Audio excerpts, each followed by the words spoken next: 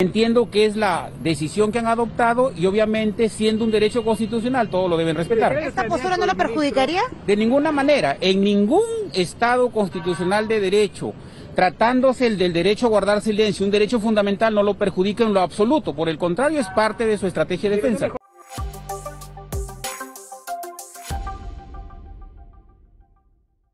Hola, bienvenido a tu canal Peruano Informado, un canal en donde te compartimos información de política, actualidad y tendencias a nivel nacional. A continuación te comparto todos los detalles en la siguiente nota. De cualquier jurista y de cualquier Estado constitucional de derecho, es su derecho. Estamos en vivo en este momento para Canal N. Por favor, ministro de Justicia Félix Chero, ¿cuál es su postura acerca de que el presidente decidió guardar silencio ante la fiscal de la Nación? Como lo he señalado, es su derecho constitucional. Él en este momento está en la condición de investigado y como investigado tiene la prerrogativa constitucional o de declarar o de guardar silencio. La estrategia legal para ello la diseña su abogado defensor.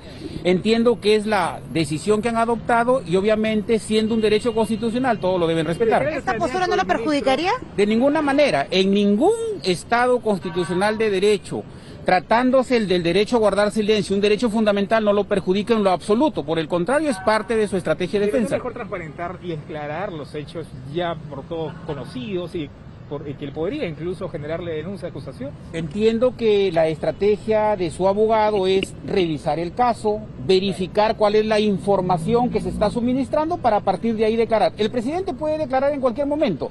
El derecho a guardar silencio no significa cerrar la posibilidad de que declare. Él evalúa con su abogado y cuando él lo considera pertinente va a ¿Qué es lo que evalúa? ¿Qué criterio tiene en cuenta? Eso lo va a tener en cuenta su abogado defensor. Yo no soy el abogado el defensor del presidente- de la República en ese caso, yo soy el asesor del presidente en temas Mañana institucionales. Presidente dijo que se iba a oficializar un nuevo gabinete. Ministro, ¿qué, qué- qué podemos esperar? Yo considero que el presidente va a tomar la mejor decisión de un gabinete democrático, un gabinete de ancha base en el que participen otros actores políticos que le den sostenibilidad y gobernabilidad al país. ¿y ¿Quién va a ser el nuevo premier? Desconozco, es una decisión propia del presidente de la República, es su decisión que tendrá que, que- que determinarse. Gracias. ¿Y tú qué opinas de esta noticia? Déjamelo saber aquí en la cajita de los comentarios. No olvides darle manito arriba, suscribirte a nuestro canal y activar la campanita de notificaciones para mantenerte siempre actualizado con noticias nacionales. Hasta la próxima.